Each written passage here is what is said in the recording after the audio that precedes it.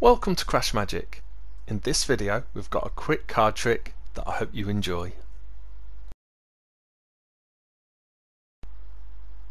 So with the cards spread out we are ready to go. We have a prediction here that we'll come back to a little later. But the first thing to note is this is a standard deck of cards. There's no short cards and I'm not holding any breaks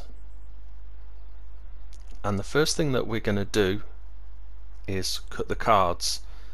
These really could be cut anywhere and a spectator could do this cut. And shortly we're going to use the amount of cards that we've cut off. But before that we're going to give these cards a mix using what's called a milk shuffle. So we're just pulling off the top and bottom cards together. And of course depending on where the cards were cut there could be more or less cards in this pile and the bottom cards would be different. But it's just a good and slightly different way to mix up the cards. It gets a bit tricky especially towards the end and sometimes end up pulling more than one card at a time. But it doesn't really matter. Last few we can just uh, throw on top. So now that these cards are shuffled we can turn our attention back to the cards that were cut and count to see how many cards there are here.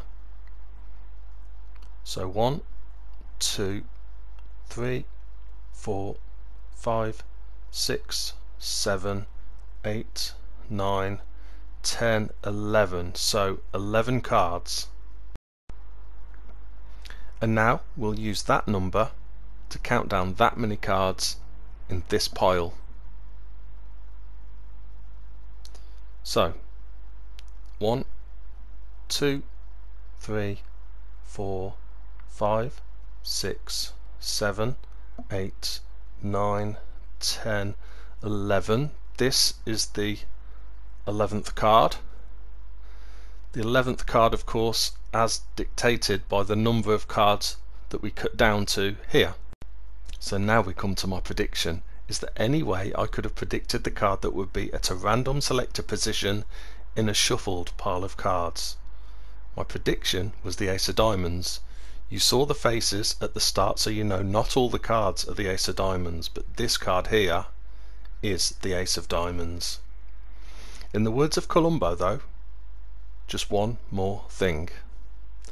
The Ace of Diamonds has a mate and if we take the card here the card that you cut to, we have the mate of the Ace of Diamonds, the Ace of Hearts.